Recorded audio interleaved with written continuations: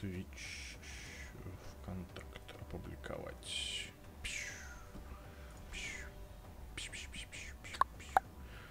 Все, пошла руда. А, доброе утро, друзья. 10 часов утра, 29 июня. Месяц почти кончился. А, по традиции, а, здесь на канале Гохмедиа я Андрей Сиротин. И а, сегодня к нам присоединился господин Тарас. Тарас, привет. Привет. Я смотрю, ты поменял э, картиночку, ты теперь в уголку сидишь. Не-не-не, это я так просто иногда показывать нужно монитор э, полностью. И у меня один из э, режимов... э, Я вернул э, тебе твоего оленя, теперь он в- бледет тебя. э, Единорога. В уголке. Ну, называй как хочешь. Так, э, смотрим, вроде все работает у нас. Э, Ну, ВКонтакте уже работал, я смотрел. Привет. Ну, я этот тоже вроде работаю. Ну и все, супер. А, в общем, друзья, каждое утро в 9 часов э, по Москве, здесь на канале Привет, ну, я этот тоже вроде работаю. Ну и всё. Да, звук там идет. Вот, здесь мы обсуждаем новости прошедшего вчерашнего буднего дня. А, какие-то события из индустрии, не из индустрии. Все, что попало к нам в ленту, мы обсуждаем. А, что-то, может быть, в ленту не попало, мы это тоже, если вспоминаем, обсуждаем. А, вот. А, так что... Такие мы обсуждатели новостей. Такие об- обсуждатели. Так, я, я там запустил. Я что-то вчера убегал куда-то и заметил, что я сам э, прослакал и не повесил, э, не заменил свое видео, из-за чего я обычно Мгм. ругаюсь на людей. Такой, все. И сам такой, ай-яй-яй. И, себя и побил себя по лицу, говорю, негодяй. Так, эм, ну что, что э, дал нам день вчерашний? Давайте, в надежде, что там было что-то... Я новости вчера не читал. Э, Не, ну мы вчера с тобой вечером немножечко да? почитали. Да, я забыл. Я все, все плохое Сегодня, забываю. сегодня, сегодня. Мы вчера с А, тобой а, а, а, почитали. точно, точно. Э, Да. Разнообразие русского языка мы заметили это. Да, все, я нашел, нашел. А, Собственно, э, последняя новость, на чем мы вчера закончили, это а, Лига Легенд. В игре появился новый персонаж, э, он называется Кайн. Кайн, сумеречный жрец. Э, Жнец, Жнец. жрет, жрет он все, жнет, в общем, он... э, Жнун. Жнун должен быть классный. И это было конец вчера. Вот, и первая новость, собственно, она вчера вечером появилась о том, что один из основателей студии Arkane а, покинул компанию спустя 18 лет. То есть достаточно такой длительный период. Мне кажется, вот э, те, кто фаундеры вот эти всякие, они прям вот долго работают, а потом уходят и делают какое-нибудь инди свое. Потому что им, видимо, надоедают вот эти вот все корпоративные правила, рамки и вот это все прочее, прочее, прочее. Я А, думаю, просто надоедает, что ты должен быть постоянно привязан к месту работы, а так ты можешь заниматься чем-то своим. Он, как Криц Мэтсон, который Warcraft там поднял на ноги, в итоге сказал, все, я пошел с семьей бухать. Слушай, ну я думаю, после того, как ты поднял э, Warcraft или сделал такие игры, как там э, Dishonored и прочее, прочее, прочее, э, я думаю, там, или Prey последний. Может быть, он, кстати, разочаровался последним Prey и ушел? Да, ну, про последний наоборот, так, так зашел, обмазали его со всех сторон. Я думаю, просто, как бы, чувак тут 20 лет работал, и, и все. Он непонятно, пишут же, что непонятно, будет он дальше заниматься играми вообще или нет. Может, ему, он уже все, что хотел, может быть, сделал, а теперь, типа, я буду отдыхать. Это, кстати, правильно. Я вчера читал статью про... э, привет, там нам пишут э, в, в Твиче. Салют. Да, А, привет. Вчера ста- читал статью про одну из московских жительниц. В общем, жила тетка, все у нее хорошо. Была каким-то там директором большим. А, надоело и все. Ей а, сын отучился, поступил куда-то в университет за границей. И она плюнула все, уволилась отовсюду. Купила квартиру где-то однушку там в 300 километрах от Москвы. Уехала и не работает. В 40 лет чувак решил, э, ну вот женщина решила, говорит, мне надоело все, поеду и буду ничего не делать. Потому что, блин, Ну, работа это вечная тема, а вот ничего не делать, там, не знаю, ходить книжки читать. Ты просыпаешься, э, можешь, не знаю, отдохнуть, э, походить погулять, позаниматься каким-нибудь, не знаю, пилатесом или вот какой-нибудь оригами поскладывать. Собственно, из дохода у нее осталось две квартиры в Москве, она их сдает. Все. Ну, тоже. Все. И я, я понимаю, что, блин, ну на самом деле мы вот сейчас все в работе, мы все задрачиваем и какие-то вот э, радость жизни редко ощущаем. Одну там, две недели в году, когда удается вырваться, может быть, куда-то, а кому-то не удается, а кто-то не ощущает. Да, вот я от вас вырвусь. А, ну, просто вот как-то вот современный мир, он такой прям очень, очень, очень жестокий, и хочется иногда плюнуть на все и сидеть, просто книжки читать. Это же круто. Ну, наверное. Может быть, через несколько лет тебе это надоест, а ты решишь что-то снова делать, но вот ну, я читал какого-то успешного чувака, который там миллиарды баксов поднял на стартапах. Mm-hmm. Вот. И он, короче, э, поднял кучу денег, начал пилить новые стартапы, и в итоге э, пришлось ему нанимать чуваков, которые бы ему обставляли квартиру. Он там купил дом огромный mm-hmm. и нанял чуваков, там, дизайнеров, все, они ему покупали железо новое, всякая фигня. В итоге он, короче, все это э, продал, купил себе однушку тоже и там типа свернул деятельность к минимуму, сказал, что типа я понял, что как бы я тупо зарабатываю бабки, которые тратят другие чуваки, чтобы мне было прикольно, а я этим пользоваться не успеваю. Поэтому, да. говорит, я теперь буду просто тратить бабки в свое удовольствие вечером дома. И все. У меня, кстати, есть несколько знакомых, которые именно так. Ты приезжаешь там, это какой-нибудь э, либо владелец бизнеса, либо э, на высокой позиции какой-то директор, и ты приезжаешь такой, вау, как круто, у тебя все сделано. Он говорит, да я провожу в ней один день в неделю, а, а остальное все в командировках и еще где-то, и э, сделали ее дизайнеры, я не знаю, там родителям моим не нравится, потому что э, они не понимают, что такое жидкие обои, что такое лофт. Они приезжают, кирпичная стена у тебя. Он такой, да это специально так сделал. Я заплатил до хрена бабла, чтобы не сделали стену, как будто она выглядит плохо. Ну, видишь, в общем, в общем... А, достаточно было нанять криворуких чуваков, которые просто бы сделали ну, стену, ну, которая ну, бы... ну нет, ладно, поехали была дальше. бы плохо. Uh, Player Unknown Battlegrounds о читерах и кросс... кросс... кросс-сервере. Кросс-сервере. Ну, это, наверное, там же выходит э, на консольку игра а, теперь. Мне сказали, что не будет кросс-сервера. Я да? на E3 спрашивал. Наверное, про это новость. Вот, э, все чаще мы слышим о возможности кроссплатформенных игр, э, ну, вот это называется кроссплатформа между Xbox и ПК, а не кросс-сервер. Ну, кросс-сервер, типа там же сервер будет, на котором происходить будет обмен данными между платформами. В общем, э, чаще всего речь идет о соединении разных пользователей Xbox и PC на едином серверах где те а, могут сразиться, э, либо помочь друг другу э, в прохождении различного контента. Ну, первый раз я про это слышу, потому что, мне кажется, кросс-сервер это кросс-сервер, э, кросс-платформа это кросс-платформа. Именно речь идет о том, что сервер, несколько серверов находятся на одной платформе. Нет. Да.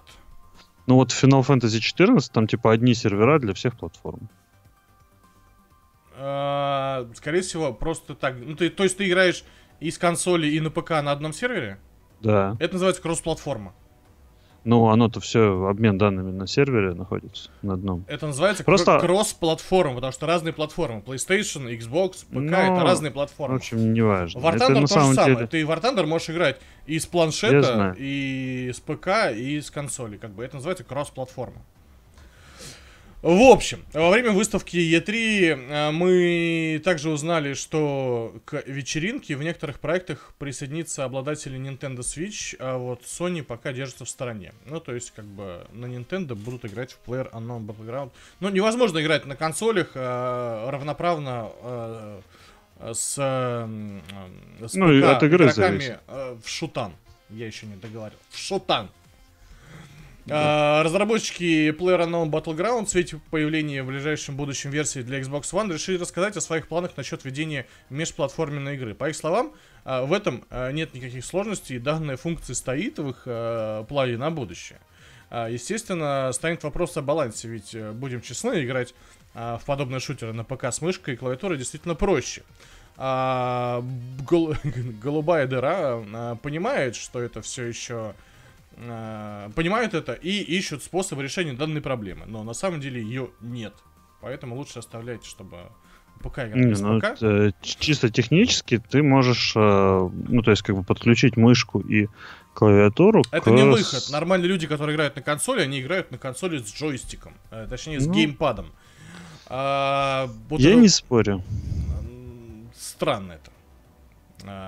Кроме Да того, ладно. стало известно, что разработчики уже успели забанить 25 тысяч читеров и продолжают работать над Я защитой молодцы. и механизмом отлова этих самых читеров. А, 25 тысяч читеров, игра стоит 800 рублей. Ну, это если так вот. Это на 20 миллионов они, в общем, побанили, по нашим. А Молодцы какие. заб- Ну, забав- на самом деле, я вот помню этот, э, когда стартовал Heroes of the Storm, Мгм. тогда доты не было, и типа тебе надо было за 30 баксов покупать Heroes of the Storm, короче. И суть была в том, что вот, Как это дота не было?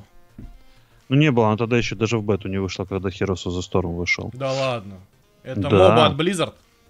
Ты ничего Ой, не Heroes of the Storm, He- Heroes of Never, я А, перепутал. вон. Да, испугал. Да, я, я, я чет, чет тупанул, но э, вот суть как раз в том, что там ка- 30 баксов стоила игра. Мгм. И вот там вот эти все хейтеры и токсичные чуваки, их просто банили. И за 30 баксов тебя забанили, и все. И в итоге чуваки, короче, одни разорялись, там у меня был знакомый, который пять раз игру покупал. Мгм. И потому что он на всех гнал, и его в итоге на 150 баксов влетело, он перестал в нее играть. Но через вот буквально через 2-3 месяца там практически не осталось вот э, чуваков, которые не хотят играть или хотят всех похейтить. Остались одни адекватные, потому что как бы... Одумались? Да, потому что страшно было, что тебе прилетит бан. Поэтому все начали такое там супер дружеское комьюнити, которое друг другу помогало. Потом игру сделали бесплатной, забанили на- наш регион вообще, сказали, что вы все там идиоты. И все. А, вчера новость появилась о том, что Nintendo сняли свою NES-консоль э, с продажи и выпустили Super NES. А, подняли ее стоимость на 10 баксов. а, и мы вчера как раз обсуждали эту новость. Я, кстати, себе куплю Super NES. а, за Ну, Super NES интереснее, чем просто Nintendo. Они же сначала сняли обычную Nintendo, Мгм. которая... А теперь Super Nintendo запилили. У меня проблема в том, что каждый раз вот э, список игр, которые они предлагают, а, он прям чуть-чуть меня не радует. Слушай, ну тут как Я бы хочу будет другие игры. э, Donkey Kong, Зельда, э, Марио, э, как бы. Но у меня половина этих игр есть на 3DS. как У бы, меня ну, нет 3DS. Вот. А во-вторых, то есть, ну, есть же там прям прикольные игры. а Я они- хочу, я хочу с ребенком поиграть.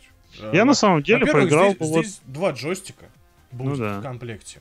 А, будут прикольные игры, и э, я хочу. Я, наверное, взял бы себе Супер Сега какую-нибудь. А есть такая? Нет. Ну, есть можно просто китайскую Сегу У нас купить, кита... я китайскую покупал, да. Да. Вот. Так вот, Потому что моя любимая игра на Сеге находится. какая? Соник? Beyond Oasis. Не знаю. Ладно, а в общем, утром стало известно, что крупная британская сеть игровой атрибутики Game планировала принимать заказы на грядущие ретро-консоль э, SNES Classic Edition э, с размером залога в 10 фунтов. Однако спустя несколько часов передумала и подняла размер залога до более солидной суммы в 50 фунтов. Это... ну, пи- пять- Ну, а всего оно, выйдешь, будет продаваться за 80 долларов, то есть Слушай, на 50 фунтов это как раз, мне кажется, вот долларов 75. практически. Да. но они же пишут, вот там А. написано даже, что чуть меньше. Дело в том, что несмотря на, обещанное, на обещание Nintendo обеспечить рынок а, достаточным количеством копий, пользователи ожидают схожей ситуации, которая произошла и с NES Mini, когда купить систему было практически невозможно. Все партии разлетались с прилавка мгновенно.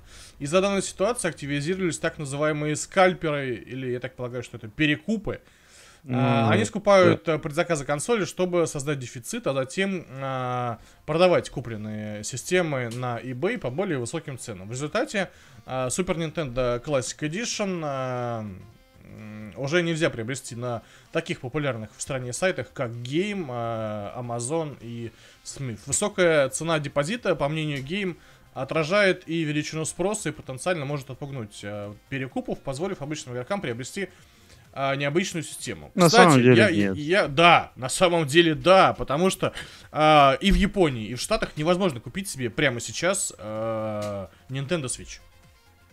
У нас была Не, ну, новость, а, где один из разрабов показывал а, процедуру покупки а, консоли в Японии.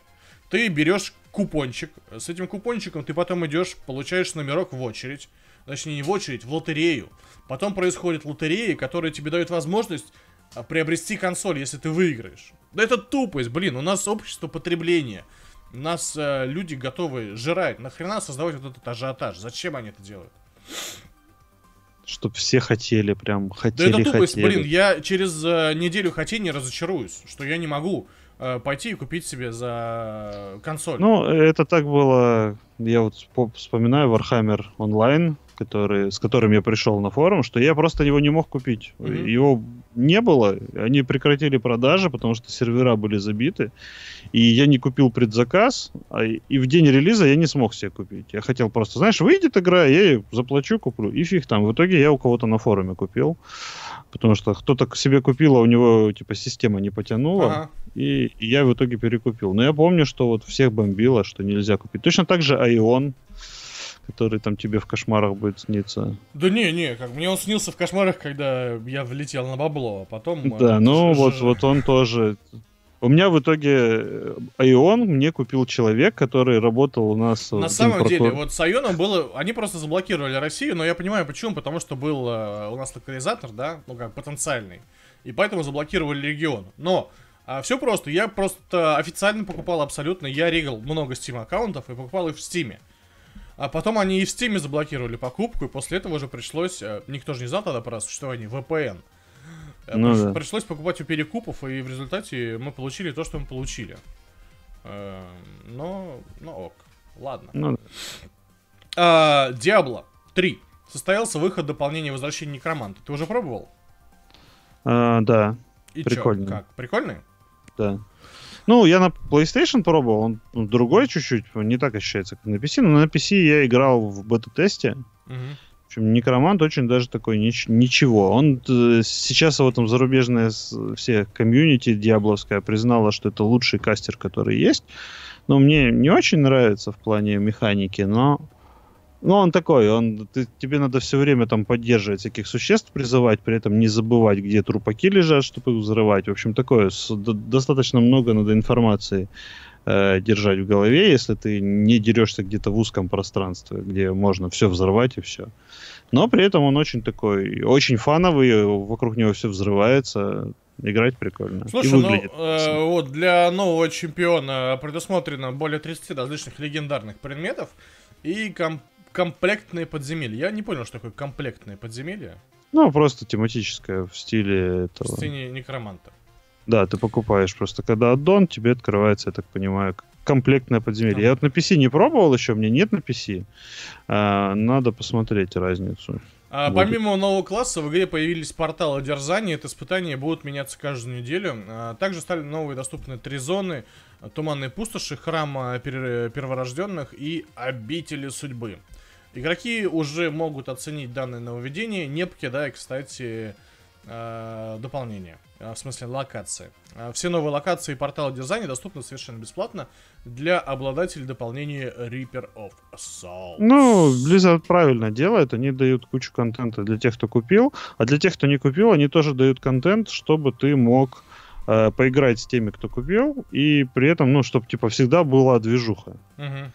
Я вот э, еду, уезжаю, вот мне надо, наверное, взять себе на PC, у меня на PC много Ты персонажей. можешь взять мой аккаунт. А, или Да-да. ты, ты хочешь. Ну, да, твой аккаунт, но у меня на своем много всего.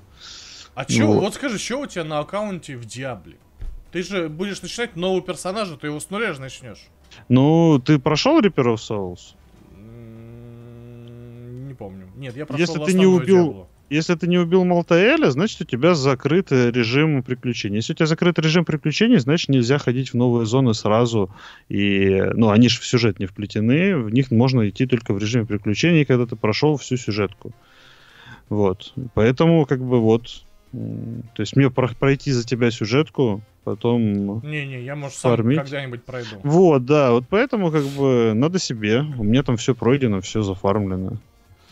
Я понял. Э, в общем, Dota 2. э, Dota 2 не сходит, мне кажется, с экранов Твича и вообще с других Ну, потому экранов. что идет International. Да, идет э, квалификация в International, в том числе в СНГ. А, и вчера появилась новость о том, что компания Natus Windsor пропустит турнир International 2017. А, вчера завершился групповой этап закрытых квалификаций на главный турнир года в дисциплине Dota 2 который, если вы не знаете, вдруг называется The International. В этом году уже пройдет седьмой. А то ж в названии непонятно, что это был Dota 2 и The International. Ну да. А, по всему миру коллективы провели тяжелейший матч за право запрыгнуть на уходящий а, поезд в Сиэтл, где, опять же, каждый год проходит турнир The International в августе. А, из-за отличий в формате проведения и количестве слотов, представляемых на регион, мы уже знаем имена главных обладателей путевок в некоторых регионах. Так, например, в Европе им стали Team Secret, Uh, у них очень прикольная была на эпицентре заставочка, которые смогли уверенно пройти через групповой этап, уступив лишь Маус и Спортс, и получили прямой слот, минуя плей-офф среди команд неудачников. Представляешь, неудачник поехал в интерне... в... на International такой. Команда действительно неудачник. в Европе можно выделить Альянс, которые закончили выступление в этом сезоне турниров от Valve среди команд неудачников. А, ну, ну смысле, Альянс, слились. короче, не прошли, да, Я учитывая понял. то, что они победители International, которые Na'Vi обыграли, и победители кучи этих, э, ну, кучи, кучи разных чемпионатов, mm-hmm. да, они вот э, не, не дошли. А в плей-офф в Европе, значит, встретятся Маус и Спорт, Planet Dog, Team Singularity и Danish Beers. В общем, вот короче, кроме Team Singularity... Ой, да, нет. Кроме Маус Sports, наверное. Маус Sports это старый коллектив, там Синг играл. Короче, друзья, в общем, если вы болеете за доту, В общем, то... короче, Нави не прошли. Это в СНГ будет только один слот, который достанется победителям стадии плей-офф, а вне сквалифицировались 7-19, Vega Squadron, Team Empire и Team Spirit.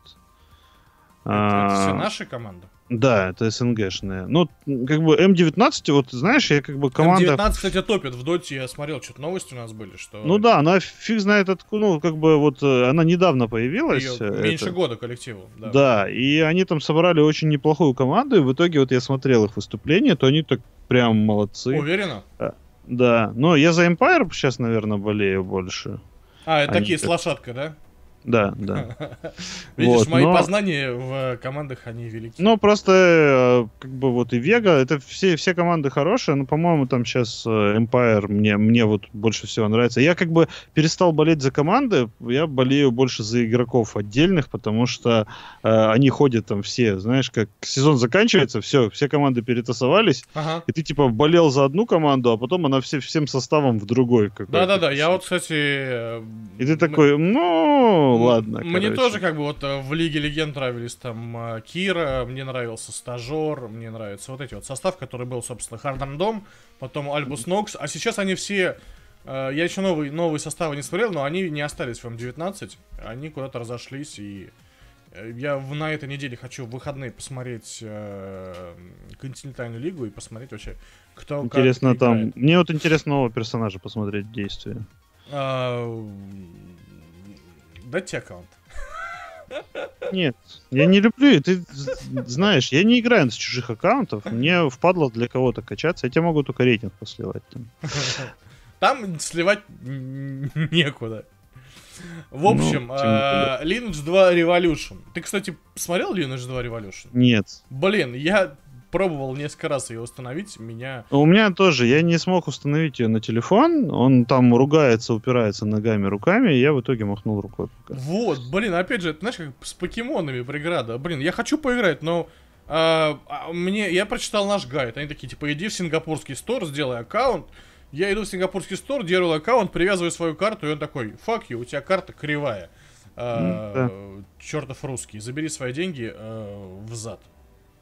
А, очень многие люди, вот и как я смотрю в ролике у нас, они эмулируют просто на ПК э, Android-версию, но это не совсем то, что я хочу от игры. Я хочу в нее играть. Ну, это вот мы, мы, с, мы с тобой говорили об этом, что ты говоришь, э, типа, симулируй на PC, и там можешь посмотреть какую-то мобильную игру. Но ведь, блин, это неудобно, потому что когда заточено под пальцы, ты вот э, положил на колени там планшет, и пальцами тыкаешь, это прям Юзабилити 10 из 10. Когда ты тыкаешь мышкой, ты... у меня пальцев 10, мышка одна.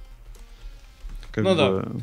В общем, Не так, вообще э, всё не то. Тем не менее, Lineage 2 Revolution, мобильная игра, и у нас появился на форуме новый гайд по игре и рекрутинг в кланы. А Если вдруг вы играете, на самом деле э, игра выглядит очень круто для мобильной версии. И я бы с удовольствием в нее играл, но вынужден играть в Fallout Shelters по второму разу. А, А, ты сейчас. проходишь по второму разу? Да. Прошел, прошел один раз. Я, я прошел, у игру. меня бесконечные деньги, и я уже все нафармил, э, не знаю, что мне делать. Мне вот Fallout Shelter, мне он нравится, но я как-то больше двух дней в него не могу играть. У меня потом что-то начинает... Я за него... Я забиваю в него заходить просто. В общем, в нашем сообществе появилось новое руководство, посвященное данной игре. Недавно вышедший э, на Западе проект, на Западе, я бы сказал, в Азии, наверное, он вышел. А, тем не менее, надо посмотреть, может, западный стор работает. Уже успел завоевать большую армию поклонников. В данном гайде, который опубликован у нас на форуме, ссылку э, на ПК пойдет. Да, на ПК пойдет, но игра сделана для мобилочек. А, в из, из данного гайда вы узнаете о том, а, как лучше фармить опыт, а, повышать уровни а, и выполнять различные виды квестов. А, Кроме того, на форуме у нас есть темы для глав кланов э, и игроков, которые, собственно, э, вербуют себе э, сотрудников, как это, э, член, Сотрудников. чл- членов, вербуют себе членов клана, и те, кто ищет клана, вы сможете объединяться и ходить, э, надирать всем щи. А, ссылочку я уже скидывал. Э, давайте еще раз вот вам пришлю. Э, если вам интересно Lineage 2, а, она выглядит прям вот как вот если вы играли в начальной хронике, примерно так же.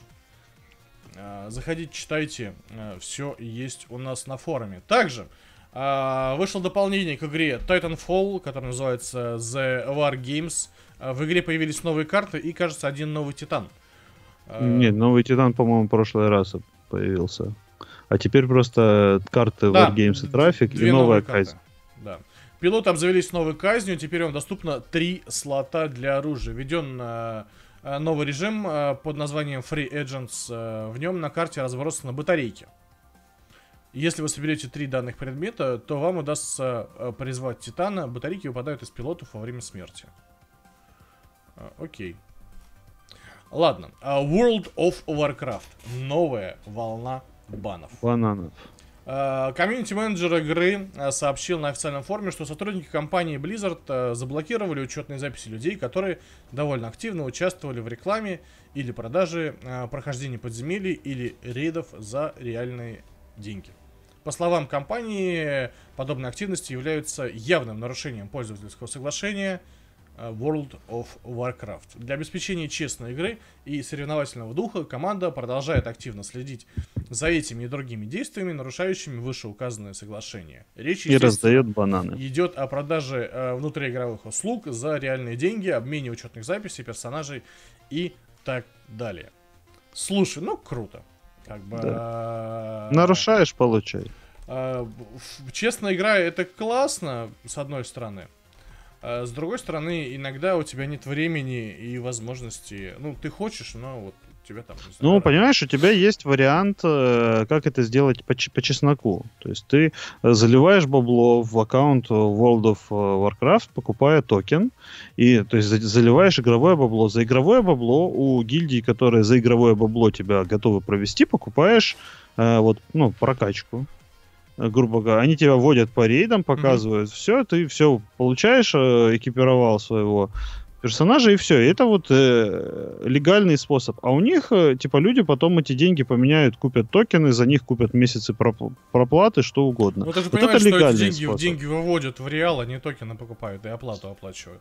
Э, Ну, там же, ну, я понимаю, что вот они вот так вот э, делают. Ну, то есть, если ты выводишь в реал, э, пытаешься заработать таким образом, вот тебе прилетает бан. Но я помню, что я, я как бы не играл последние несколько месяцев, но там всегда были те, кто готовы тебя просто за игровые деньги водить. То есть, как бы вот, Наверное. зачем, зачем платить больше, если ты можешь вот так вот? Окей, ну, World of Warcraft люди до сих пор играют, игре уже более там, 10 лет, мне. Мне вон прислали позавчера, что, типа 7 дней подписочки проплачивать, ну, вернее, бесплатно. Возвращайся. тебе- а то- Возвращайся, играй. Ну да, я там 7 лет играл, потом типа перестал играть. Они такие, что случилось? Человек. Где наши деньги, чувак? Да, Где за наши 7 лет деньги? перестал платить подписку. Что-то не так. С вами все в порядке, вот вам бесплатно. А, Crowfall. Игра, Да. которая вызывала отвращение, а сейчас вызывает уже интерес.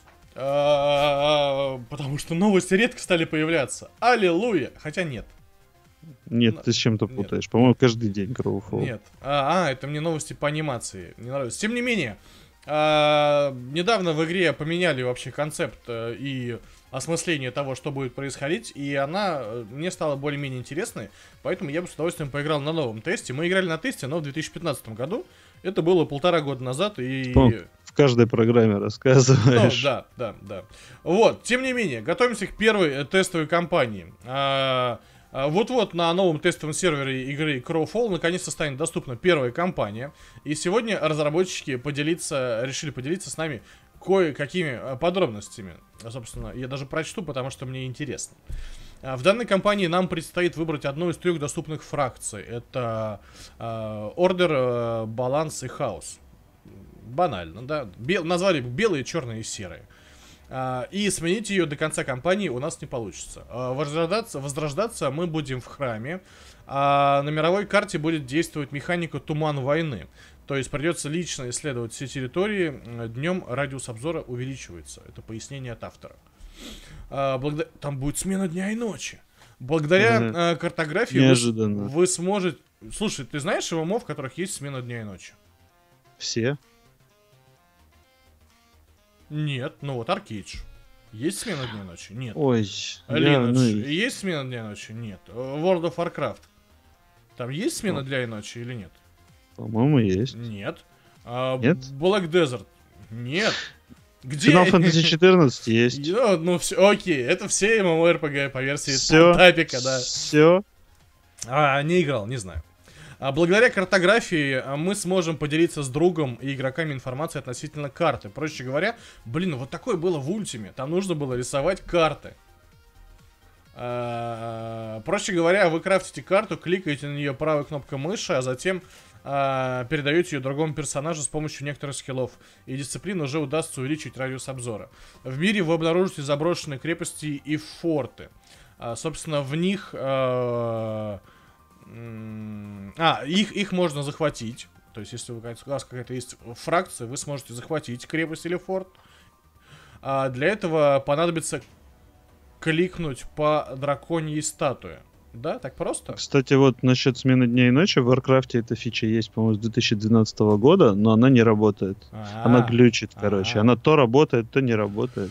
Но А, она там есть. Слушай, я знаю, э, например, в а, есть э, прогресс шкала временного, да, который вот я вспомнил в Аркейдже справа есть э, солнышко, ночь, но э, у тебя она меняется и на карте не происходит. У тебя солнце не заходит ночью, у тебя темнее не Ну, в становится. Warcraft заходит, я тебе даже могу видос показать, там не все хочу, это ты сказал, есть. что это не работает. Все. Но оно на там глючит, на я не знаю, как оно сейчас работает или нет, но я помню, что там было. Ты меня просто так выбил из колеи своей. Оно не там работает, не ты работает. же сказал. Все. Оно глючит, но оно есть. Оно ж же есть. Тут же Да тоже не не факт, что будет работать. Это то же самое, что я тебе дам э, консоль и скажу, вот она есть, но она не работает. Играй на здоровье. Ну, ты мне так и даешь иногда консоль.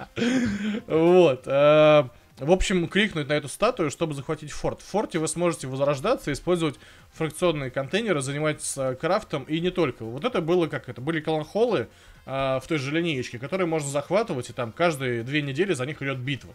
Это круто, это прям челлендж, потому что... э, Потому что это круто. Такой колонхол. А заброшенные крепости, э, окруженные э, водой или стеной, а получится захватить, если посадить рядом с ними дерево жизни. И, видимо, с ветки этого дерева перебраться э, в крепость. Нет, просто она заброшена, а перестанет быть заброшенной, там тараканы поселятся. А, также а, будет возможность захватить вражеские а, поселения через систему осады. Ну, да, я так это и предположил. А, покинутые крепости и форты придется починить. Для этого вам понадобятся шахты, каменоломни и так далее. А, в данных... ну, Построил видимо, шахту, починил крепость. видимо, видимо, понадобятся ресурсы какие-то на починку Мгм. крепости. То есть нужно будет пригласить Да. из Молдавии знакомых, там, а, откуда-то еще. В общем, они, они, у них должен быть скилл этот прокачан. А Они в на автобусе приедут прям туда. на Икарусе, я бы сказал.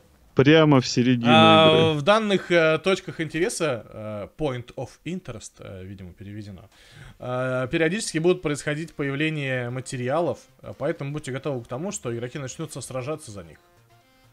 А, Более детальные подробности относительно первой кампании вы сможете найти во втором сообщении.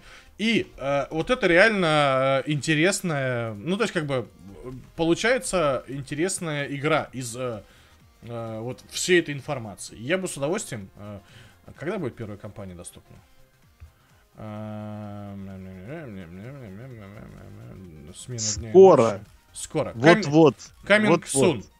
А, так что, друзья, Сегодня или вот-вот. ждем, ждем. Это должно быть круто, это должно быть интересно. И по словам, ну вот в теории, как бы вот эти механики, которые все описываются, они действительно э, крутые и э, замечательные. А, Beyond э, Good and Evil 2. Игра, которая вызвала у всех прям Ничего себе, 15 лет не было ничего слышно, и вот оно. Ой. Я вспомнил эту игру. Я видел э, вот эту тетку, которая была на заставке, кажется, еще даже в каких-то журналах. Но я в нее не играл. И поэтому у меня никакого, никаких ассоциаций э, появление второй части вообще не вызвало. Ну вот. Тем не менее, у нас появилась новость о том, что в игре Beyond Good, э, Good and Evil 2 э, у вас получится... Это как это? За гранью добра и зла, я правильно понимаю? Да. Да. А, У вас получится собрать разношерстную команду. Сотрудники, По-моему, это было понятно еще по ролику. э, сотрудники компании Ubisoft э, продолжают знакомить игроков с приключенческим экшеном. Э, Угадайте каким. А, Сегодня в своем новом видео они решили рассказать вам э, про команду и не только. Про команду. Игроки э, смогут создать собственного персонажа. Например, у вас будет возможность побегать за гибрида человека, небольшое, но, по крайней мере, волосатое существо. Чего? А, человек... Гибрида. А, то есть за гибрида или за человека, или за небольшое, но крайне волосатое существо. Хоббит, наверное. А во время ваших приключений вы будете встречать всевозможных персонажей. Это очень необычная механика для а, игр вообще, когда вы в игре встречаете э, всевозможных персонажей. Всевозможных, Всевозможных персонажей. Например, во- всевозможных волосатых персонажей. например, если вы захотите напасть на большой корабль, то внутри у него у вас получится обнаружить рабов. А, и если вы их освободите, то некоторые из них захотят к вам присоединиться. А, но Вау. будьте готовы к тому, что некоторые персонажи будут не всегда одобрять ваши действия. И они а, могут просто покинуть вас. А, кроме того, вы сможете обзавестись байком, а, который отлично подходит для городских путешествий. А, я И поэтому что- летающий Я вижу, я вижу что он летает. да. Очень забавный байк, э, летающий, который подходит для городских путешествий. А, а уже на небольшом корабле у вас появится собрать команду, исследовать космос и планеты. А, Также у вас будет возможность кастомизировать ваше средство передвижения. Мне кажется, Натура устал писать эту новость, поэтому разрозненные предложения, которые сложно Он сложить такой, «Так, типа, в, ну и общую- хрен». в общую картину. Вот там А, можно что-то сделать. Слушай, вот э, звучит прикольно. Как бы э, куча э, отдельных механик, которые вроде бы выглядят прикольно, если вот их вот... э, Я вот когда читал этот, э, там зарубежных коллег, которые общались с Мгм. разрабами, они, в общем, в итоге пообщались, у них есть концепт, у них есть там типа какие-то пожелания, и у них есть вот там базовая модель движка, и они что-то делают. Но самой игры у них нет там даже в версии там пре-пре-пре супер при альфа, то есть она как бы куча идей, которые вот э, есть, и они о них рассказывают. Но пока это все не сложится в игру, это просто куча идей, которые в итоге не будут Слушай, работать. ну вот и- кораблик летают, как бы... И это- что это- дальше? Ты там обнаружил рабов? Ты смог на мопеде из него улететь и передвигаться по городу? Нет. По-моему, нет. Это, причем вот этот кораблик летает, это из э, получасовой презентации, на которой Мишель Ансель просто это все показывал. Они оттуда же натягают. Это не новый, то есть это как бы вот уже используется в двух видео. Это уже напрягает. Потому что вот такие технические демки, их не так много делать э, по времени, если у тебя есть движок. Там три корабля, Ну, ты знаешь, как бы движок, показывать сырую версию игры тоже неправильно. Ну, Ты они сказали, просто- что у них нет игры. У них нет сырой версии никакой. У них есть движок и вот наборы ассетов. И они рассказывают, как что она хочет. Но это как этот Мулиньо, который рассказывал одно, а выходила совсем другая игра. Всегда. Потому что у него планы были грома... громадья, которые разбивались о суровую реальность. Вот и тут. И либо игра будет разрабатываться, как Star Citizen 50 лет, и ее никто не увидит, кроме займов в банках. Либо вот... э, пусть доделают, короче, будем смотреть. Э, Дата релиза неизвестна. Да. Но я не Слушай. думаю, что раньше 2020 года стоит ждать. Да ладно. Я уверен даже, Да что... ладно. Скриньте, как говорят сейчас товарищи стримеры. Скриньте. Да. Я типа- думаю, что, что, 18-й, э, либо в конце 18-го, либо в начале 19-го. 20 Да нет, Да. да нет. Да никто не готов столько. Хотя, ну, как бы имя, но людям же... Ну, что, 15 лет ждали? Что, три года не подождем? Ты что, вообще? Не, ну так же Ну, ее анонсировали. Если бы они ее 20 выкатили такие... а, Они ее от- анонсировали открывайте первым роликом еще 6 лет назад. Там был ролик, там в пустыне, типа, что-то там летает. Есть ролик, который анонсировали много лет назад. Вот. И, и, и чё? На э- вот, вот это же пустыня, что на мопеде, на картинке. А, Twilight Spirits. А, Возможно, есть возможность поиграть через Steam. А, Написали у нас тут натуру. Я вчера пытался в Steam ее найти, а, но не нашел ее. Оказывается, Вот, что видишь, у там она скрывается другое, под другое названием. название, да. То есть это, видимо, китайщина. А, тем не менее, позавчера мы узнали, что китайская версия ММО игры Twilight Spirit появилась на просторах Steam. А, если вы хотите ее найти, надо искать не по английскому названию, а по китайскому. Да, я нашел. А, И вот э, спешим вам сообщить, что теперь вы наконец-то можете ее скачать и поиграть лично. Английской локализации там нет, поэтому а, вам придется играть э, в китайские закорючки. Кроме того, разработчики запустили всевозможные ивенты, приуроченные к выходу игры в Steam. Например, а, за получение э, ряда уровней персонажам будут выдаваться различные награды. Также в игре у вас получится обнаружить 6 необычных классов PvE и а, PvP баталь... Запятая, извините, не остановился. PvE и PvP баталии, э, живописные зоны, механику замедления Интересно, что там за времени. 6 необычных классов? А, Ну, это, скорее всего, Warrior. Это необычный Warrior. Рок, Мейдж. Ну, вот сам- Healer. самый never seen before, как говорится. Ну, А, и, кстати, если вас, э, и, кстати, если сейчас заглянуть в стимовские обзоры, то они в основном отрицательные. Нет, там не миксит. Написано, что 26%. У меня написано миксит. Там не mostly negative, а миксит. Миксер. Я как раз открываю Steam, и там э, мой поиск э, вот этой игры вчерашней. М. Бесплатная игра, э, смешанная. Э, 40% Смеш- обзоров положительные. Ну, то есть, видимо, китайцы э, немножко Сильно смешали. да. купили обзорщиков и стали писать э, положительные отзывы в Стиме. Э, Так что сейчас я ссылочку скину. Э, Новое ММО от, э, от Натыста она или я уже не помню от кого. Не знаю. От, китайских чуваков. От китайских чуваков. Если вдруг вам интересно, можете зайти. А, АЕ, спасибо за подписку. Да, от NetEase. Днем день, ночью ночь, тут пишут э, Антон. Э, в Ла-2 и в Вове есть. Ну, в смысле, ночью темно становится, уходит солнце Ну за да. горизонт, тени исчезают, э, появляется ночь, темно, фонари зажигаются. Вы это имеете в виду, что? Я ни разу не видел такого, что прям, как это называется? Много. Во Динамическое, многих играх. динамическое, да, ну, во многих не ММО играх такое есть. Да, в ММО тоже есть сейчас. Динамическая Оно не везде нормально работает. Да где? Покажи мне ролик. Тебе где- вон пишут, что даже в БДО есть. А ты как бы не читаешь чатики. Я вижу, что че- солнышко двигается, да, по грани Да, там, времени, но да. динамической смене дня и ночи я не видел. Играй в Final Fantasy. Есть давно, тебе все пишут, что есть. Это ты просто играешь в одно время суток, а обычно привязывают к времени сервера. То есть куча игр, в которых ты заходишь ночью, играешь ночью. А почему в некоторых... Я не помню, во что я во что-то Нет. Вынужден был играть э, по ночам, ну, вернее, я играл в наше время, вынужден был играть на американском сервере, потому что мой прайм-тайм был вечерний, и это день у, у других чуваков, мне было удобнее так. Вот.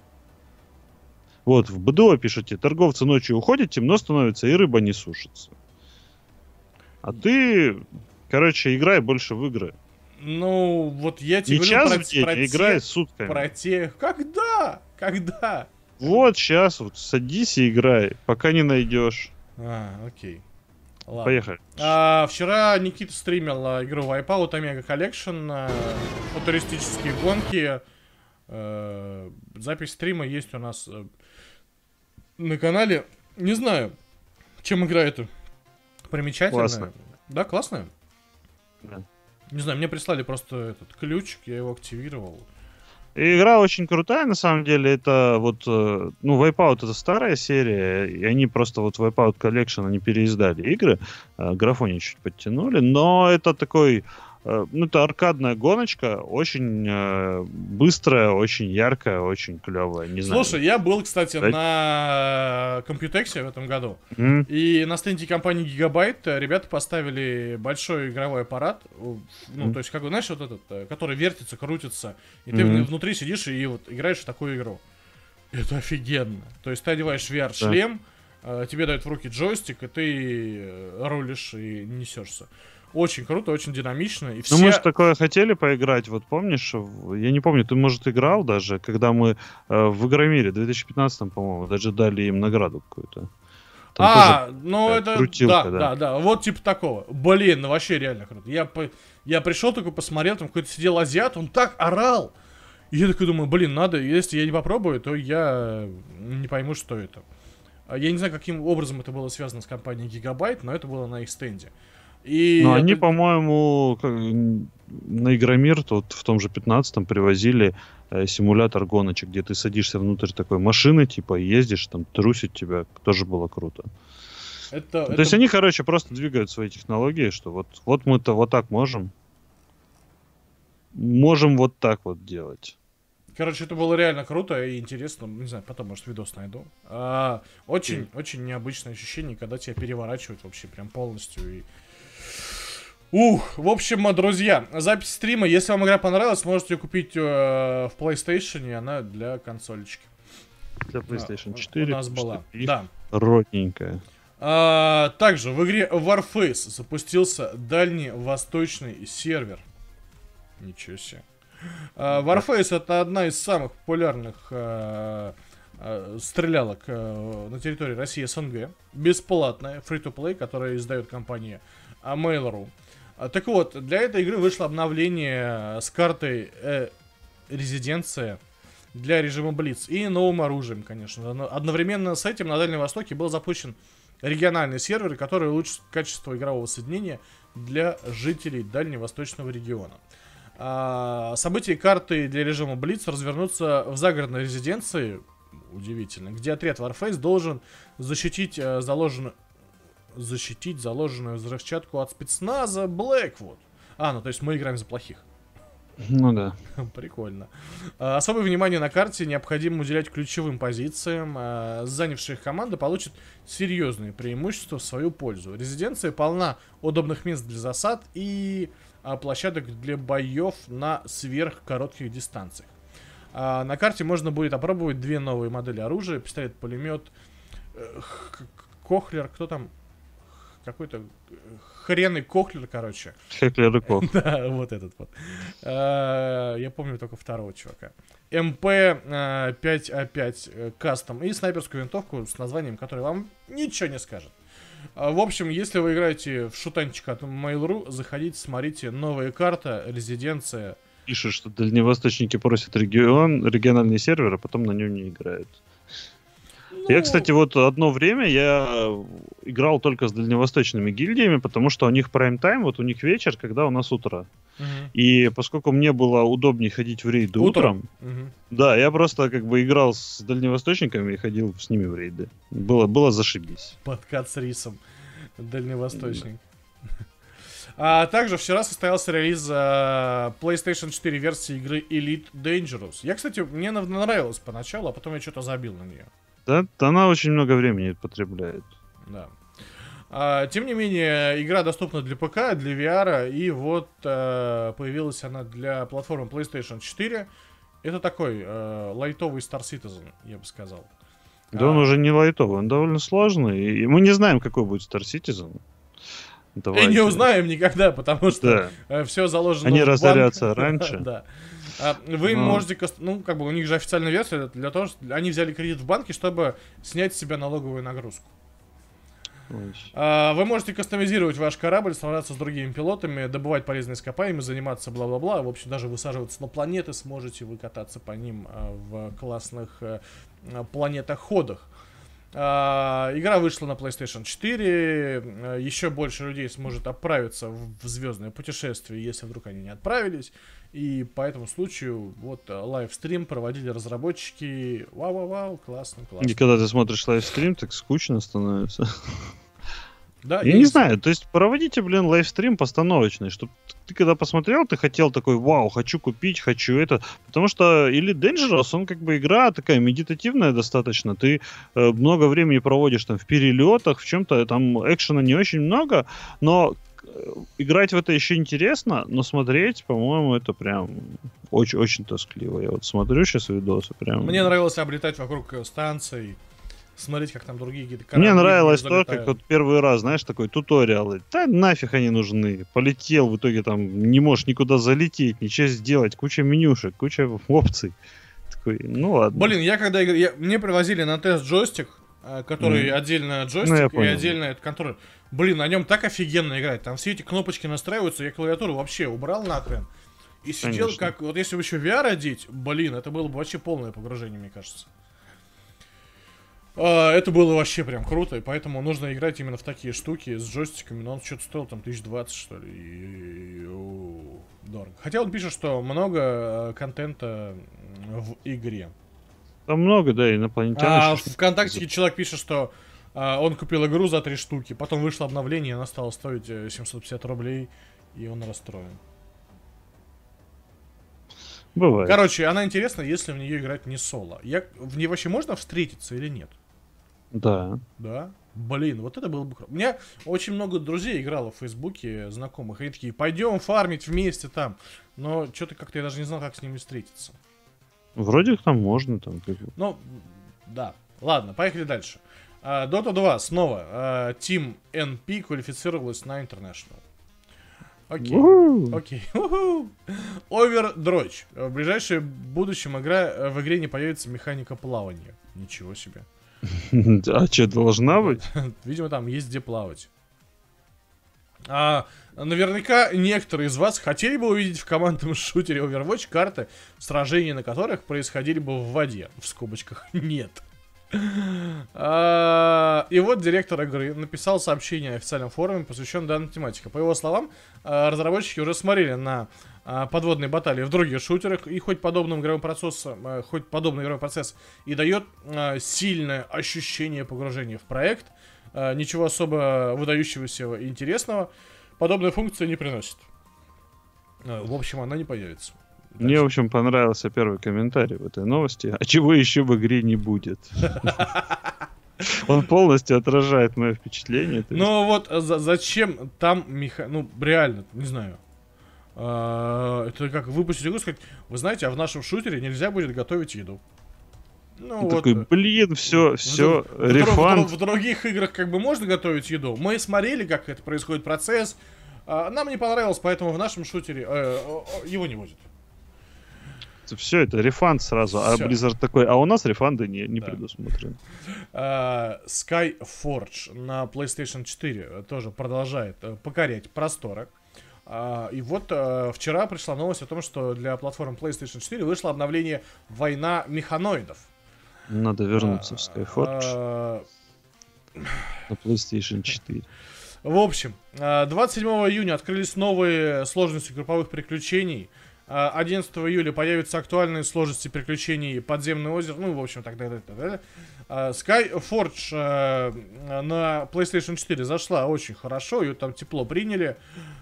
И Майком, мне кажется, радуется и продолжает выпускать обновления для нее. А на ПК, кстати, игрушечка подзаглохла.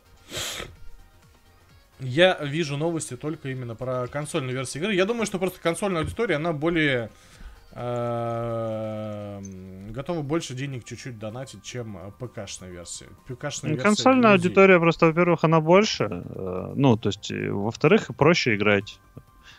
У нас э, как бы ПК-версия, она русскоязычная, а русскоязычная аудитория, в принципе, старается донатить как можно меньше э, и как можно больше использовать бесплатно. А консольщики, они, как правило, люди, Привыкли которые... платить. Да, они более, более так, те деньги это пыль. Ну, не Давайте пыль, как бы, ну просто ты когда играешь на консоли, Да. ты понимаешь, что за все нужно платить.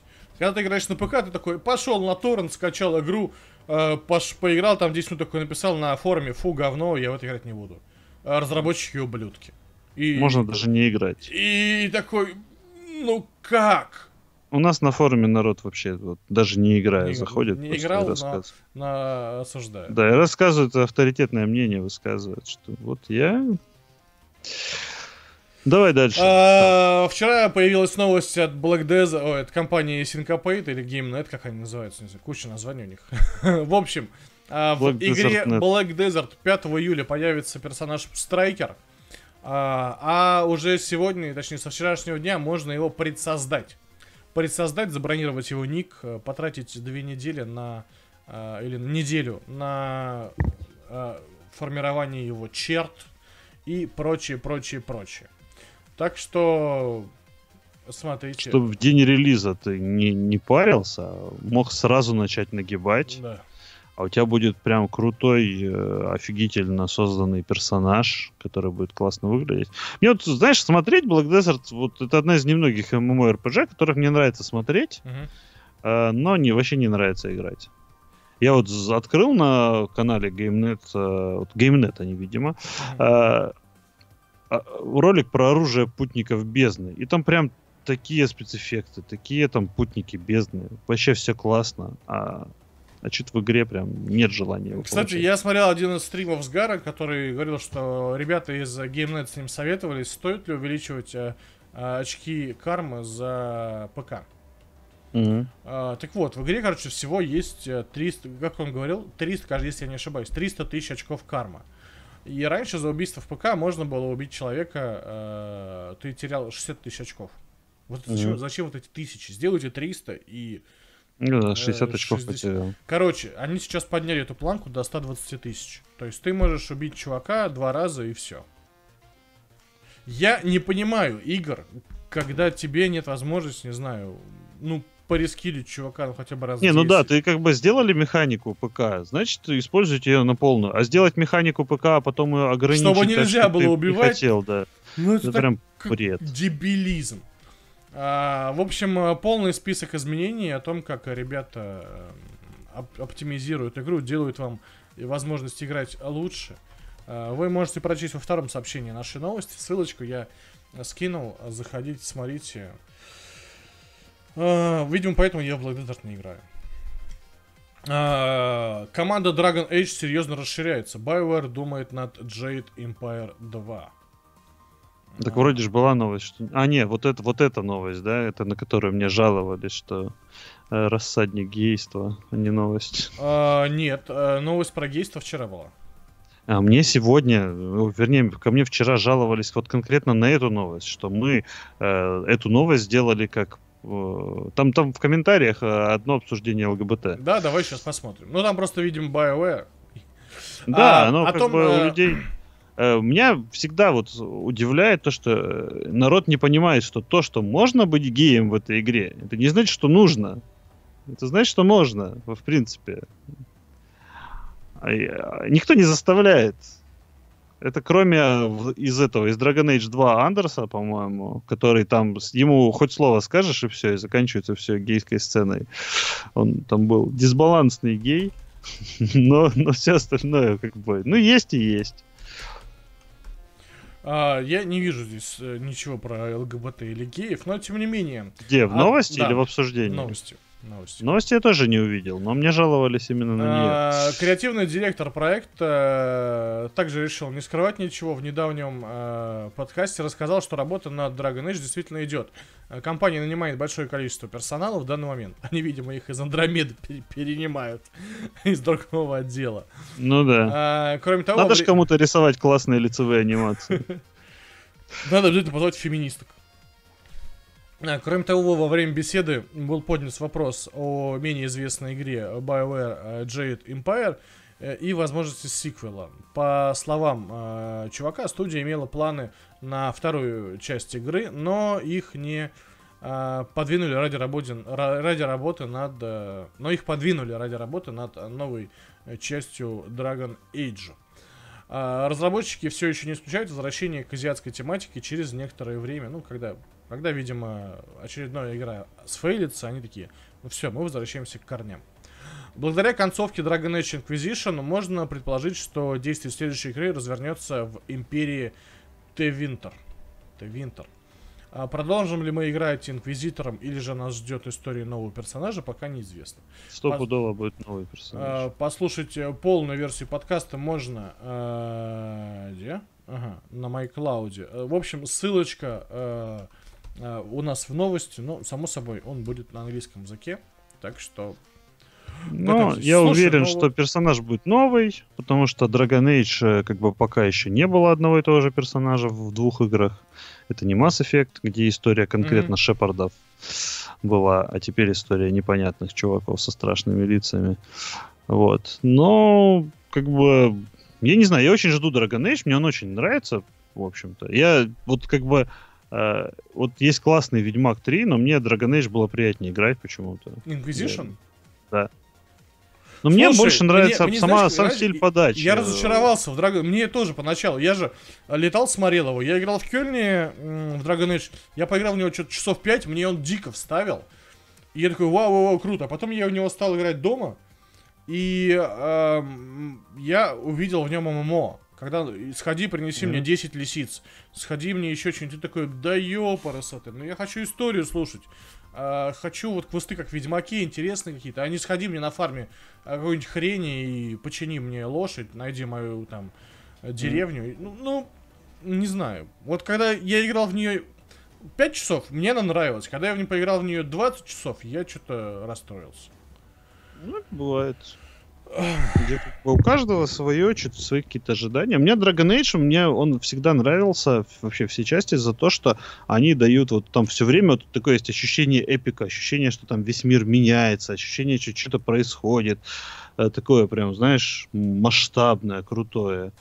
А а вот очень многие там конкуренты, у них все время все что-то локальное такое. Как бы, что а что лучше, Dragon Age Inquisition или Origin? Ну, это совсем разные игры. Пишут, пишут лучше Origin.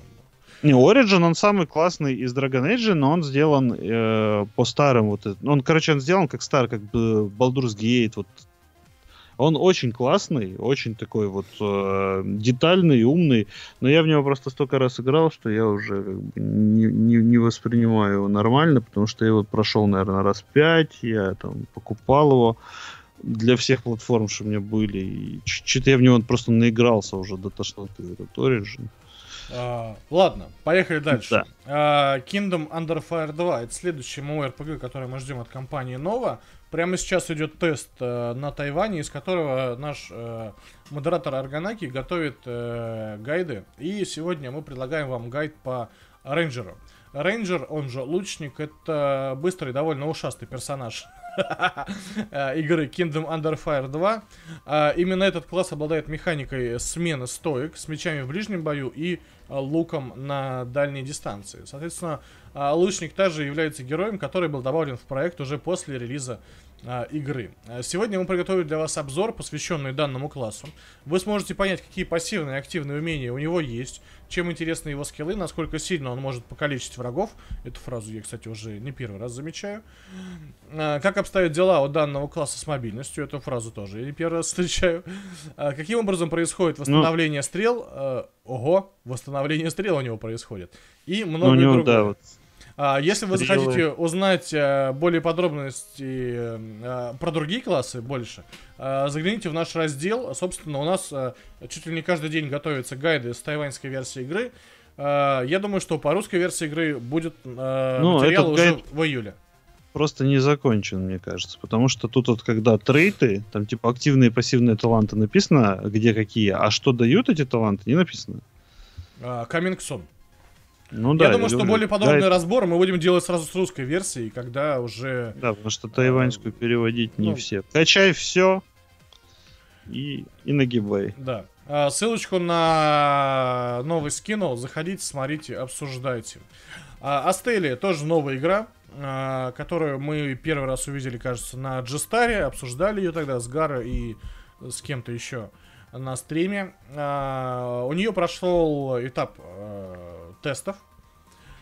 А, собственно, мы подготовили обзор а, по данной игре знакомство с существами, защитники и прислужники.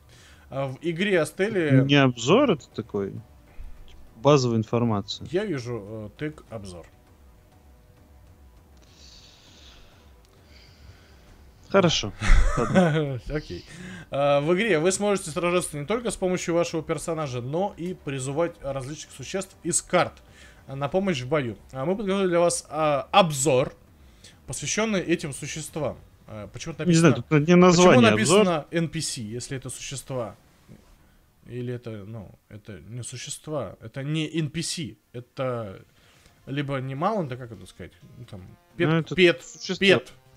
Нет, пэт это не игровой обычно, это компаньоны. Ну, компаньона, да, этим компаньона. Да. А, в общем, вы сможете узнать, чем прислужники отличаются от защитников, сколько а, всего подобных существ в игре, как выглядят их карточки и каким образом а, можно активировать уникальные комбинации из онных. Выглядит довольно мультяшно. В общем, заходите к нам на форум, на огонек. Смотрите, Астелия игра, которая вроде нас чем-то заинтересовала. Я думаю, кто Лекс подготовил материал?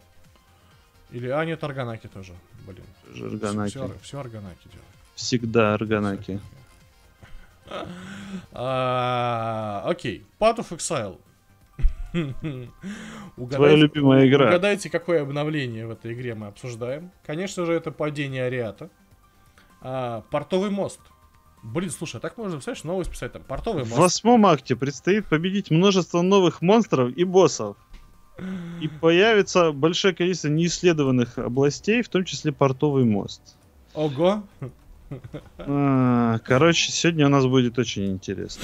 Да. А, желаю тебе удачи. В общем, друзья, а, в игре Path of Exile это такой роглайк игра, как я выучил для себя новое слово, роглайк. Да, Диаб- это- Диаблоподобное. Я, я потихоньку, видишь, э, становлюсь умнее. И я, вот для чего я занимаюсь этими факин новостями. А, на тестовом сервере э, игр- игры Path of Exile вскоре будет установлено очередное обновление для обновления падения Ариата. В патче игроки смогут оценить восьмой акт. После установки обновления будет произведен вайп, и разработчики займутся сбором информации о прогрессе персонажей. В общем, уже длительное время э, тех, кто играет на тестовом сервере, используют как хомячки для того, чтобы оттачивать Ну, мастерство Всегда так прокачки. Но уже долго это. Знаешь, вот Альбион онлайн, например, три года. Три года. Играешь обновление вайп. Играешь обновление вайп. Ну, Pass of Exile, там же, видишь, есть э, основной сервер, где всякие ништяки проходят, и есть тестовый сервер, где вот тестируют портовой мост. Это с каких мучает. спрашивают, Path of Exile э, стала роглайк? Нет? Я, или я путаюсь с чем-то? Нет, оно все время было. А, все. Тогда, тогда Все, э, нормально. испу- испугал меня, не Паша. Роглайк. Вот эксперт э, Тапик говорит, что это роглайк. А, в общем, а, в скором времени команда игры планирует дать игрокам очередной отчет о том, а, как происходит бета-тестирование. В нем а, поклонники игры узнают о всех подробностях грядущего патча. А мы, конечно же, расскажем вас, э, вам э, про него в новости на нашем э, утреннем стриме. Может быть и нет. Path of Exile. Сейчас, сейчас, Path- может Path быть и нет. Возможно, возможно, мы будем рассказывать только самые интересные из мира Path of Exile, и, возможно, это будет немножко реже происходить. А, Также на этой неделе была, будет, бу- будет запущена официальная программа Affiliates на Twitch TV. А, Если вы не знаете, эта программа подразумевает о том, что подписчики канала смогут не только заплатить 5 баксов за подписочку, а также могут заплатить 10 или 25 долларов. Получат также доступ к Twitch Prime подписке. Также будут доступны одна эмоция для подписчиков, две дополнительные слота для подписчиков за 10 и за 25 баксов и возможность включения чата только для подписчиков. Но это, мне кажется, вот интересно для тех, у кого там прям вот тысячи и тысячи э, зрителей сидят на стриме, они прям могут э, активно использовать данные штуки. А, отдельно стоит выделить э, подключение к системе Cheering, э, что означает возможность получать пожертвования от зрителей без услуг других сайтов и внешних решений. У нас периодически висит э, на Твиче вот эта штука, когда там кто-то вам э, начирил 100 кристаллов, и я никак не понимаю, что с ними делать. Они в итоге, видимо, конверти... конвертируются в баксы, да. А, никогда не было рогаликом. Там нет полностью генерируемых данжей и неизбежной смерти. Ну, понимаешь, вот народ зацикливается на... То есть рогалик, вот э, игра похожая на рог. Э, поджанр вывелся тогда, когда вот тут это, ну, ориентировались на один проект, на э, который задал все это. И там были генерируемые подземелья, там э, перманентная смерть. И, в общем, этот поджанр выделился вот таким образом. Но со временем, когда появилась Диабло, это как Диабло подобное, то есть, но они похожи на рог по механике в общем. То есть тебе надо загриндить кучу врагов, у тебя генерируется либо полностью, либо частично э, вот это все твое окружение, и, собственно, вот из хардкорного режима перманентная смерть переходит, переводит тебя в стандартный режим, потому что, чтобы не терять все, что только есть. Но, в принципе, игра тоже, ну, ну как бы вот этот э, roguelike light, э, можно назвать, некоторые так называют, или Action RPG еще называют, но по сути, как бы это просто более современная версия вот, вот этого жанра. Э, классических рогаликов не делают уже очень давно. Это единичные игры, которые выходят. Э, они, как правило, никакой популярности э, крупной не получают за счет того, что, ну, как бы, кому нравится, когда Сложно, ты все просрал. Да. да Если это, вы хотите не... сложную игру, играйте на хардкоре э, в Диабло и наслаждайтесь. И на Найтмаре на Найтмаре и на хардкоре. А, в общем, да.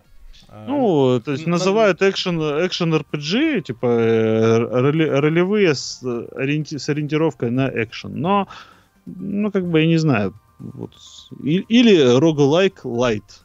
Да ну в жопу лайт вот это вот лайт. Ну, да. У нас запретили лайт. В общем, 28 июля в англоязычной версии MMORPG э, Blade and Soul было установлено обновление Iron Touch Forge, вместе с которым в игре появились новые подземелья и различные значительные улучшения игры что, собственно, происходит в любом обновлении. Помимо множества новых функций и усовершенствований стало доступно подземелье. Угадайте, с каким названием. А, Iron и... Touch Forge, наверное, да! да? И тут такие аплодисменты. А, и изменилась система камней. А, в новом подземелье вы сможете испытать э, свою силу на нормале и хард режимах. А, данж рассчитан на группу из шести персонажей 50 уровня, а его противники представляют серьезную угрозу для жителей окрестных поселений. Конечно же, за победу над главными боссами кузницы, а, уже кузница, а, игроков ждут а, ценные награды. Например, черный камень, который можно использовать для улучшения оружия, а также другие полезные предметы и новые костюмы. А, после установки э, патча обновилось и а, качество драгоценных камней. Вам потребуется зайти в меню а, Exchange Antiquos, Antiquos и трансмутировать драгоценные камни вручную. Да, на этом все. Лига Легенд. Разбираемся с системой клубов. Вчера Элиот вместе с... Ой, не Элиот. Э, Секси Алина и Ашен Вейл проводили подкаст э, по игре Лига Легенд, но вот записи я не вижу. Пойду выдавать люлей сейчас. Выдавать по, подкаст. По, по, по данному поводу, да. А, собственно, проводили стрим, на котором можно было узнать подробнее о клубах и системе наград. А, там были игры с членами клубов и так далее. В общем, по средам у нас Алина играет в Лолец и э, рассказывает какие-то интересные истории из мира игры. А, добрались мы до новости о слухах э, Marvel Heroes 16, прекращение продаж героев из фантастической четверки. Ну, на самом деле, там просто, получается, все время идут скандалы между Marvel Studios, а, которая теперь Disney, которая делает фильмы. Они изначально продали кучу прав на своих персонажей Fox. Это вот э, и Люди Икс, mm-hmm. Человек-паук, там еще что-то.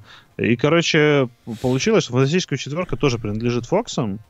Э, и вот э, они теперь все время ругаются насчет прав, и, видимо, это начало затрагивать все остальное, потому что, насколько я помню, по у Газилиан, в общем, тоже вот как бы права приобретались частями для вот этих персонажей, и э, вот у них закончилось, заканчивается срок действия прав на фантастическую четверку, а новых нет. И в итоге они, как бы, персонажи в игре останутся, останутся костюмы и связанные с э, фантастической четверкой костюмы там для Человека-паука, все, но при этом их, скорее всего, все уберут из продажи, и купить их будет больше нельзя никак, пока не заключат новое соглашение. Я думаю, они просто ругаются не из-за этого, а из-за баблосов.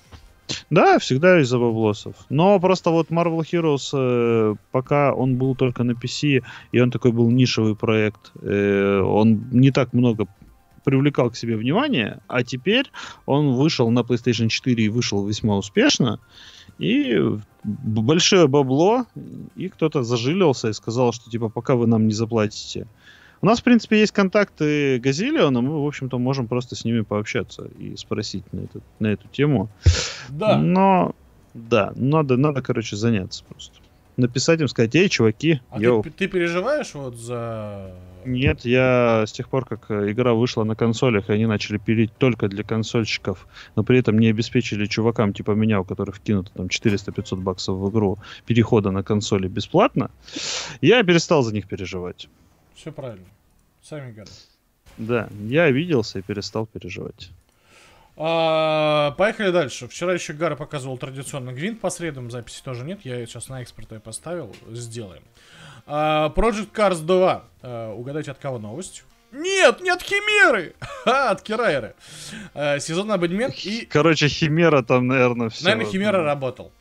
А, сезонный абонемент и системные требования для игры. Компания... Системные требования такие. Купите консоль. Вот. А, Классная система. Компания Bandai Namco и Slighty Mad Studios, э, которые делали игру для Mail.ru, которая не вышла, но денег они заработали. Bandai а, Namco. Поделилась э, с поклонниками гоночного симулятора Project Cars 2 подробностями о сезонном абонементе, а также показали системные требования игры. Приобретая Season Pass, вы сможете получить доступ к первым четырем дополнениям, а выходить DLC будут в течение одного года после старта игры. А, за сезонный абонемент придется заплатить аж 30 баксов, однако в эту сумму войдет множество новых гоночных машин, различные трассы, соревнования и так далее. Помимо этого вам будет доступен а, Motorsport Car Pack, в котором содержатся эксклюзивные магазины, такие как а, DTM Audi V8, Jaguar E-Type а, и прочие названия ни о чем мне не говорящие, например. В общем, короче, 22 сентября будем играть в Project Cars 2. Химера будет писать и ругаться. Э, кроме того... Или, или хвалить. Не-не, хвалить. Project Cars, он же прям очень э, реалистичный, очень динамичный. Они прям изначально поддерживают VR, и он, он крутой. Э, также в Steam доступны системные требования, так что... Лошара мод э, требует 8 гигабайт оперативной памяти и видеокарту не меньше GTX 680, а это не хухры-мухры. Это топовая карта того поколения шестого. Хотя сейчас десятая идет. Ну да ладно. А, а чтобы играть как папка, вам понадобится, конечно же, NVIDIA GTX 1080 а, и процессор а, Intel Core i7 6700K. И, конечно же, 16 гигабайт оперативной памяти. А, да. Ну, это, как это... раз у меня процессор под рекомендованный подходит. Ну, ничего себе. Ты, ты стримить это да. не сможешь. Я не буду. А, давай начнем с этого. Релиз игры состоится 22 а, сентября на платформах а, PlayStation, Xbox One и ПК. Вот смотрите, я не понимаю. Для рекомендованной игры указано, что нужен Intel Core i7 6700 и 1080. Как, играя на PlayStation, железо в котором соответствует, мне кажется, минимальным системным требованиям, я буду получать игру, которая не тормозит, которая отлично выглядит и в которой все круто. Объясните мне. Вот объясни мне, чувак, как? Ну вот так, потому, потому что, что нормальная оптимизация, пряморуки разработчики. А почему, тебе так. почему на консоли я буду играть на хреновом железе офигенно, а если я обладатель ПК, я буду испытывать анальную боль, потому что... Страдай. Ты, ты потратил кучу тысяч долларов на ПК? Страдай. Она еще у тебя а будет я, тормозить, глючить и не проходиться. Я не понимаю, потому что реально... Как, как всегда. Люди, э, вот сейчас, в 2017 году, дешевле и проще играть э, на консоли, потому что да. вы сэкономите на железе, игры будут чуть подороже, да, но вы их можете продать, если что. Если вдруг вы покупаете физические носители. А, если вдруг вам игра, например, не понравилась или еще что-то. На ПК вы не сможете продать игру, потому что вы покупаете ее в электронном виде 100 пудов. Или качаете с торрента. Ну тогда вы упырь. Ну, в любом случае, на ПК вот ты даже покупаешь физическую копию, тебе там внутри дают код. Да, который вы активируете в том же Стиме. Да, и все. Никто... А на консоли у вас диск, вы отдали его другу, и друг играет. Ну, и вам... в этом и вам... плюс, да, консоли, что ты поиграл, короче, тебе надоело, продал диск за полцены, и все. И, и вам не считаешь... нужно покупать 1080, который стоит 1050, а процессор, который стоит 1020, а, и, и, и так далее. Поехали дальше. У нас тут новости заканчиваются. А, вчера пришла компания от компании Mail.ru Grishin Robotics. Это основатель компании, собственно, э, Гришин. Не помню, как его зовут. А, новый игровой смартфон Wander будет, инвести... Э, э, будет инвестироваться компанией... Что? Новый игровой смартфон Wander будет инвестироваться... Так. В общем, короче, компания Grishin Robotic инвестирует деньги в разработку нового смартфона Wander. Видимо, вот это нужно было прочесть в заголовке. 28 а, июня стало известно, что компания Grishin Robotic станет ведущим инвестором нового стартапа от студии Wander. А, планируется выделить 14 миллионов э, долларов на создание специального смартфона, который будет ориентирован на игроков и пользователей различного развлекательного контента. Вместе с э, Grishin Robotics в проекте а, в проект инвестировали такие э, гиганты индустрии, как Atari, Sega, TCL, Moonshot Capital, а также звезды мирового масштаба Шакира, Жерар Пике и другие. Не понял вообще, что их всех объединяет. А, тем не То, менее, что они денег сложили. Я понял. Подробности относительно планов компании Вандер хранятся в секрете. Однако известно, что уже сейчас ведется разработка нового типа устройств. Новинка станет гибридом игровой консоли и обычного смартфона. Это знаешь, они что делают? Nokia Engage. Ну, короче, я на самом деле вот э, у меня тут лежат старые журналы, прям старые такие, знаешь, лет 5-10 назад. И вот там иногда я их перелистываю, смотрю, что там, что было uh-huh. ради смеха. И там вот э, были новости, как типа MC Hammer разрабатывает новый браузер, который будет конкурентом Google. А, вот и вот это, по-моему, той оперы, знаешь. Слушай, Шакира... ну как бы Гришин, он э, ну такой прикольный чувак. Ну, 14 он... миллионов это фигня для на создание новой консоли, там этот это просто. Слушай, ну он просто один из, из многих. Кто... Да, но, ну, короче, посмотрим, что там будет, но я не думаю, что оно прям такой будет гибрид. Это будет гибрид бульдога с носорогом, на котором, короче, выпустят в итоге игровую консоль, на которую можно будет играть в Android игры, как на обычном Слушай, планшете. если, ну, как обычно. Чем это все всегда заканчивается? Ну тут сложно, как бы. Либо нужно делать что-то похожее на Switch, но Switch большой, это не телефон. А, либо не знаю. Короче, посмотрим, что они а, сделают. В общем, любой желающий может подать э, заявку на участие в альфа-тестировании Wonder Вафля. Wonder Alpha program. Однако приглашение на тест придется подождать. Wonder была основана специалистами из таких компаний, как а, Microsoft, HTC, Disney, Apple, Sony, Activision, Riot Games, Google и Facebook. А, и уже не единожды смогла внести свой вклад в индустрию развлечений. Именно поэтому мы про нее первый раз сегодня слышим. Интересно, что это за Wonder. Да, давайте, давайте погуглим. Погуглим. А, интересно, что в комментариях пишут. А, ладно, поехали дальше. А, Лига Легенд встречаем обновленную систему чести. А, Система Встречаем. А, не секрет, что в командных играх очень часто накал страстей доходит до точки кипения, что ведет к ругани и э, э, взаимным оскорблениям. Компания Riot Games уже достаточно давно пытается повлиять на данную ситуацию в своей игре. Может, им просто чат отключить? Слушай, а, кстати, мне кажется, это выход. Ну, Хочешь- на самом хочешь- деле, вот хочешь, есть говори, не- говори голосом. Есть некоторые... э, По-моему, вот э, Heroes of the Storm, там изначально, когда ты ставишь игру, у тебя чат отключен, и тебе надо его сознательно включить. И... И, и тогда будет, типа, ништяково. Тем не менее, компания Riot Games уже достаточно давно пытается повлиять на данную ситуацию в своей игре Лига Легенд. Одним из рычагов а, является система чести, которая, впрочем, с данной задачей не справляется. Ведь наград она не предполагала, а красивая ленточка на память просто никого не волновала. Меня волновала. А теперь же ситуация решила, э, э, компания решила попытаться переделать данную систему и сделать ее более интересной для игроков. Новая система чести предполагает голосование на специальном экране, который а, помогут, поможет оценить поведение игроков. Те, кто будет подавать пример другим игрокам, э, своим поведением смогут получать больше ключей, специальные капсулы а, с образами чемпионов, а также уникальные образы на Варвика и Твича э, вместе с самими персонажами. Кстати, э, блин, ну получая один раз такой приз, мне кажется, ты как бы отвалишься. Ты его получишь, как бы, и Ну, пойдешь может, снова да. там про мамку рассказывать. А подробнее о новой системе вы сможете узнать из видео, ссылку на которое я, конечно же, по традиции скинул.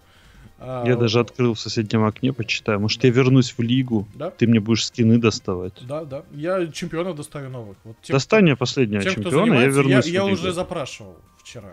Я вчера запросил Алине и Ашенвейлу, так как они... А мне не запросил. Ты же Всё, не я- играешь в Лигу Легенд. Все, Вот. значит Вот не если бы буду. ты играл в Всё, Лигу закрыл. Легенд, я бы Все, сказал... я закрыл видео, все. Я бы сказал, что а, наш обзорщик э, желает.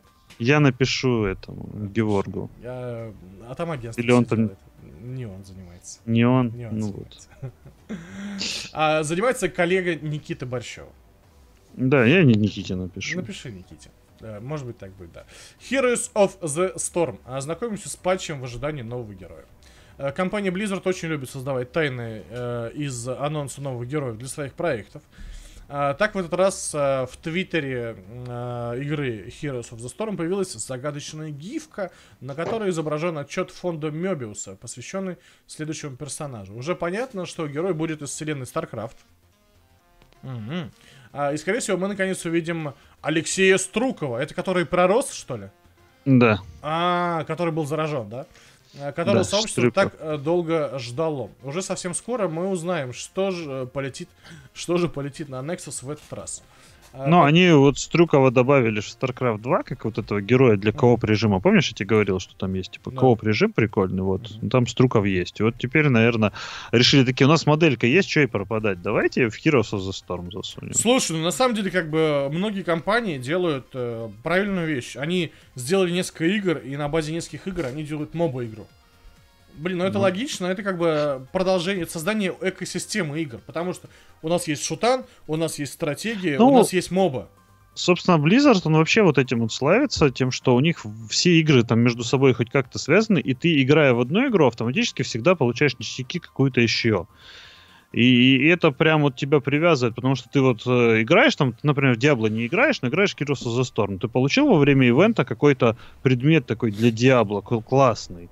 Такой думаешь, ну блин, а что я не играю в Diablo? Я зайду, посмотрю, как предмет выглядит. Ты зашел в Diablo, выбил какой-то предмет для Warcraft. Ну, грубо говоря, выполнил Мгм, ачивку, мгм. тебе в Warcraft дали. Ты такой, блин, ну реально, у меня же есть аккаунт Warcraft, в который Пойду я не поиграю. заходил. Да. Пойду, да. А там потом оп, в Heroes of the Storm. Ты А такой там, везде в э, шоколаде. они да. раз у тебя Overwatch залоченный, такие, вот тебе в Overwatch скинчиков. Да, ты такой, блин, надо же зайти посмотреть хоть на скинчики. Купил Overwatch. В итоге ты бомж, но у тебя 500 скинов. Ты не переживай, главное. Ничего, Тарас. Все, все изменится. Не, у меня просто столько игр, в которые хочется поиграть, и столько времени нет вообще. Да, да, я каждый раз про это рассказываю. Я вот теперь, Работаешь в игровой индустрии, у тебя нет, сука, времени играть. я вот, э, знаешь, я понимаю, что поеду на море, у меня как бы вариант только, может, и, все равно ни во что не Да не поиграю. надо, езжай, отдыхай. Да, Не- Пусть ничего ты с вами отдохнешь. Я, я тебе, да, на обзоров пришлю тебе Да, с вами отдохнешь. заданий. Надо делать полностью, как это называется, детокс. Надо выключать соцсети, отключать интернет. Я и... могу, в принципе, телефон не брать, вообще ничего не брать, поехать просто и приехать после 10 Приезжаю, здесь такие руины. Да. А, последняя новость на сегодня. Star Trek Online, Star Trek. А, спасаем легендарного генерала Крингона Мартока. А, совсем скоро пилотом игры Star Trek Online. Слушай, и кто ее делает? Ее не... Криптик которая делает Neverwinter. Я ее у кого-то видел. Ну, это, который Neverwinter. Это а, я ее видел у, это, у Perfect World, точно. Да. А, совсем скоро пилотам игры Star Trek Online предстоит отправиться в опасное путешествие, из, из э, которого далеко не все смогут вернуться живыми. С выходом сезона 13.5, который намечен на 18 июля, герои организуют э, дерзкий побег бывшего клингонского канцлера и легендарного генерала Мартока из тюрьмы Сонна. Данное событие ознаменовано также тем, что актером озвучки присоединился э, Джей, Джей Джей, исполняющий роль Мартока в Star Trek Deep Space Nine. Uh, в общем, друзья, ничего не могу вам сказать про игру. Star ну, игра классная, вот э, и новая Но система там играю, появляется. Да? Ну, у меня пожизненная подписка там оплачена. Ничего себе. Да, прям я могу э, в ней не играть, но я могу возвращаться в любой момент. У меня там ждет сразу валюта, э, аддоны, всякие ништяки, поэтому О. я захожу Ясненько. и играю. А, друзья, на сегодня все. А, это была последняя новость за вчера. Увидимся с вами уже тогда в пятницу, завтра. Завтра. А, подведем итоги недели, расскажем, что было хорошего, что не было хорошего. А, и так далее и тому подобное. Вот, с вами был Андрей Сиротин, Тарас Кукурян, это канал Глухомедия. Всем пока. Всем пока, спасибо за просмотр. Как все? Как, как это все? Тут кто-то писал, что, блин, лень читать новости, а тут удобно зашел, и тебе, ну, да. тебе за час наговорили всего. И... Ты уже выключил? Нет. В процессе. Вконтакте и Twitch. Спасибо за новости. Ае, приходите э, завтра.